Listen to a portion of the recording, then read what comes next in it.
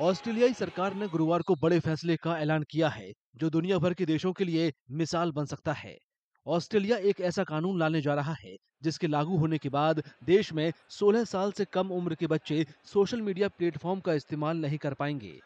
इस कानून के बाद सोशल मीडिया प्लेटफॉर्म को ज़िम्मेदारी उठानी होगी कि 16 साल से कम आयु वर्ग के बच्चे इनका इस्तेमाल न कर सकें।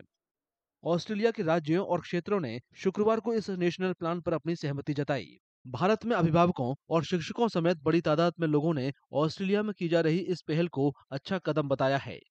आज का जो युवा है और खासकर ये कच्ची मिट्टी बोलते हैं इनको, ये जो उम्र होती है 16 साल से नीचे वाली, ये एक ऐसी एज है जिसमें बच्चे का ध्यान बच्चे बच्ची का ध्यान सिर्फ़ और सिर्फ़ अपने करियर को लेके अपनी पढ़ाई को लेकर के होना चाहिए। और कहीं ना कहीं ये जब आप सोशल मीडिया के ऊपर जाने लग जाते हैं फेसबुक इंस्टाग्राम स्नैपचैट तो आप अपने विषय से भटक जाते हैं। मुझे लगता है कि भारत में भी हमें विद्यार्थियों के भविष्य को सोचते हुए इस दिशा में आ, बिल्कुल यही इसी तरीके से कदम उठाने चाहिए।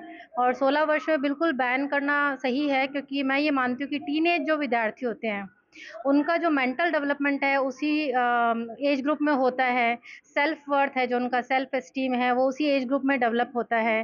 तो जब आजकल जो सोशल मीडिया के हार्मफुल इफ़ेक्ट आ रहे हैं, जैसे साइबर बुलिंग हो गया या हरसमेंट हो गया, या उनमें सेल्फ वर्थ को लेके जो नेगेटिविटी पैदा हो रही है तो वो उससे काफ़ी हद तक बच सकते हैं।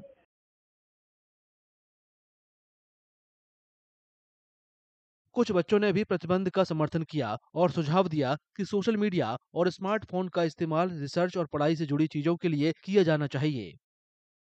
I think it should be implemented in India for some extend because now days kids are like fully based on phone and they are gaming being influencer in such young age it shouldn't be the reason for using phone the phone should be used only for the research purpose and educational purpose because when we were on the same age we were doing only for research and um, education purpose so kids now should also focus on education first bullying भी बहुत ज़्यादा होती है like we see Instagram पे भी होती रहती है और बहुत ज़्यादा like वो केसेस भी आते हैं ना लाइक ओमेगल भी बैन हो गया due to due to small age youth जा रहे हैं वहाँ पे एंड अडल्ट चीज़ें हो रही है So I think it can be affect their mental health. So uh, do you think कि uh, इंडिया में भी सेम लॉ आना चाहिए?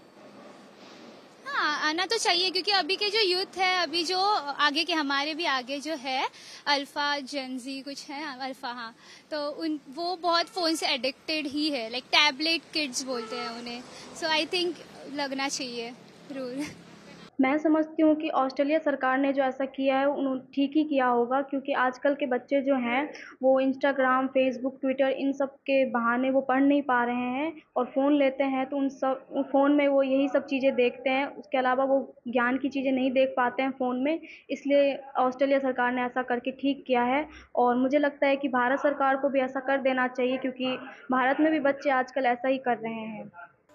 हाँ यहाँ पर बैन हो जाना चाहिए ये सब कुछ। सोलह बारह साल के नीचे के बच्चों को तो बिल्कुल भी फ़ोन नहीं देना चाहिए, ताकि वो, उनका फिर मानसिक संतुलन बिगड़ता है, पढ़ाई में ध्यान नहीं लगता उनका, फ़ोन में लगे रहते हैं खासकर बच्चे। फ़ोन चलाओ तो पर वो लोग पढ़ाई के लिए भी यूज़ करें फ़ोन पर, वो लोग ज़्यादा रील्स देखते हैं गेम खेलते हैं। हालाँकि जानकारों का मानना है कि पूरी तरह से प्रतिबंध बच्चों को सोशल मीडिया के इस्तेमाल से बेहतर तरीके से नहीं रोक पाएगा। उनके मुताबिक ये उन्हें न सिर्फ़ इसका ज़्यादा इस्तेमाल करने के लिए उकसाएगा बल्कि प्रतिबंधों से बचने के तरीके खोजने के लिए प्रेरित कर सकता है In today's world, banning does not exist.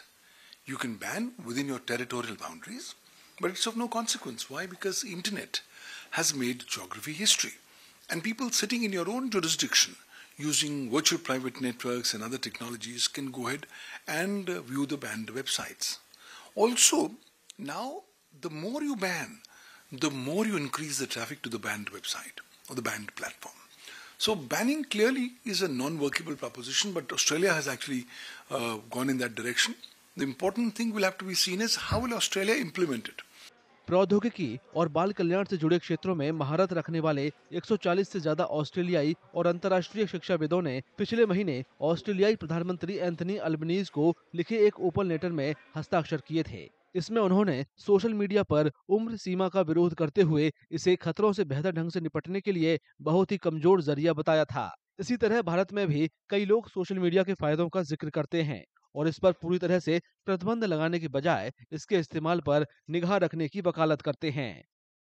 पूरी तरह से बैन के तो मैं पक्ष में नहीं क्योंकि कुछ इसके फ़ायदे भी हैं बच्चों को पढ़ाई में कुछ ज्ञानवर्धन में भी काम आता है। लेकिन ये पेरेंट्स डिसाइड करें कि भी कितना वो चलाएँ कितनी देर चलाएँ क्या चलाएँ ये इस तरह का एक कोई ना कोई एक सिस्टम डेवलप होने की किया जाना चाहिए।